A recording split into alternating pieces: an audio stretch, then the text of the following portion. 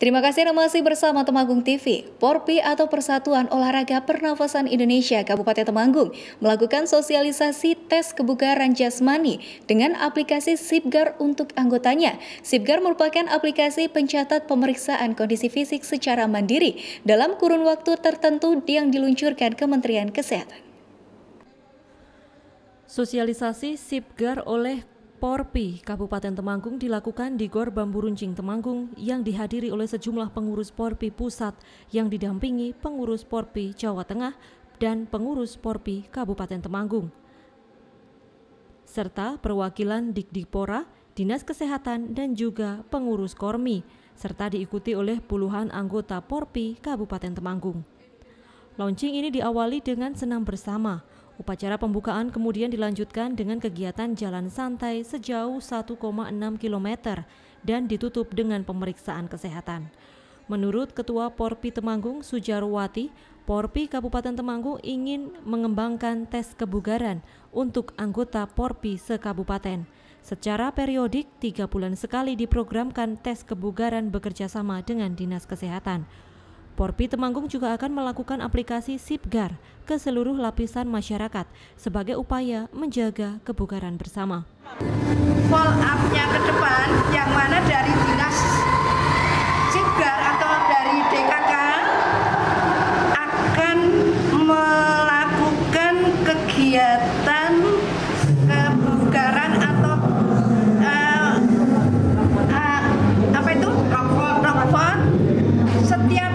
bulan sekali akan dicek kesehatan tindak lanjut dari kegiatan ini. Apakah nanti dari tadi yang disebutkan itu bisa menjadi pionir atau nanti bisa menyebar ke mana-mana gitu Bu? Insya Allah Pak, ini sudah di Temanggung saja tujuh ranting dan tambah dua ranting lagi dan rencana mendirikan juga ranting porpi dan dikembangkan di masyarakat. Kemarin saya sudah uh, diberi arahan dari Bu Ketum bahwa nantinya adalah masyarakat untuk bisa uh, mengetahui tentang Sipgar ini demi untuk peningkatan kebugaran secara pribadi. Sementara itu, Ketua Umum Porpi Nasional Perdaningrum mengatakan aplikasi Sibgar merupakan aplikasi yang diciptakan oleh Kemenkes sebagai program pencatatan pemeriksaan kondisi fisik seseorang yang dilakukan dalam kurun waktu tertentu dengan menggunakan metode Rockport. Aplikasi ini untuk mendukung program nasional Indonesia Bugar di tahun 2045 mendatang. Hari ini kegiatannya apa Ibu? Bahwa kegiatannya ini adalah uh, kita kerjasama dengan Kemenkes uh -huh. ya, uh, melalui MOU.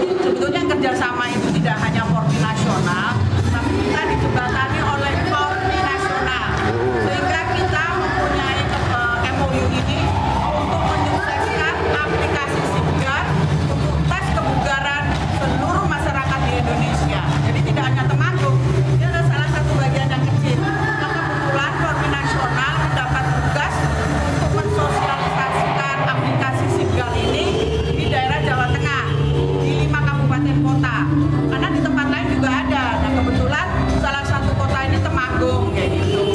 Aplikasi Sipgar itu sebetulnya apa ibu?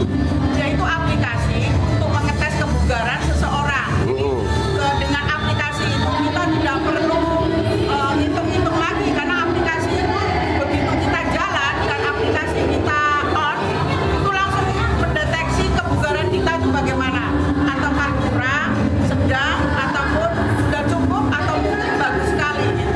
Apa pentingnya aplikasi ini bagi bagi nuwun sewu ya ibu-ibu ya. yang sudah lanjut usia ini dan orang lain. Nah, jadi kita ini lanjut usia pun kita juga harus bugar. Gak okay. bisa kita mau mentang-mentang udah lansia terus biar sakit enggak. Kita okay. itu tanggung jawab dari pemerintah.